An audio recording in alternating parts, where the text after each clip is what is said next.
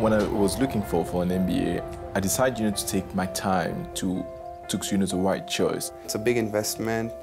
You don't know what you're going to do if you're actually going to learn something. It's hard making the decision wh what school you should go to. I started, of course, with uh, looking at uh, the Economist and FT, the FT ranking. I didn't want to go to any traditional business school. I just want to go somewhere like innovative and somewhere new. Hult actually approached me, and I really liked the idea that I can do it in one year. It was good from a couple of criteria I had in terms of international mobility and after MBA salary increase.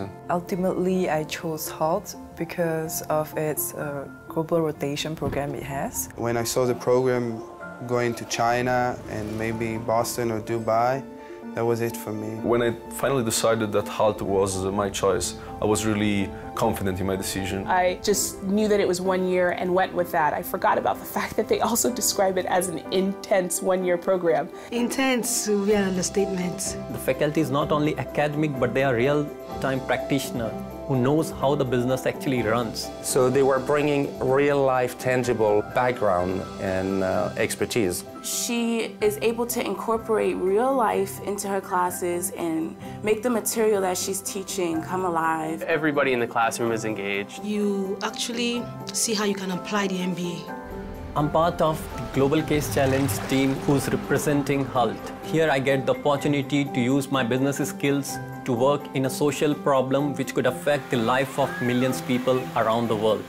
I choose Boston for my main campus. Shanghai was an incredible experience. London was my first campus. My plans are to rotate to Dubai. I'm looking forward to going to San Francisco because it's located in the heart of the Silicon Valley. I don't think any other business school has a similar program, and that's, that's the edge. One of the cool thing about this MBA is the diversity of the people. The most challenging experience here has been working in groups. You're working with five or six people from all over the world with different backgrounds. We really help each other. We're really close. We really look after you know each other. And uh, we make sure that we stay in touch as much as possible. Just today I got a wedding invitation from a guy in Egypt. And it's not about having former classmates around, it's having friends and people that you can count on.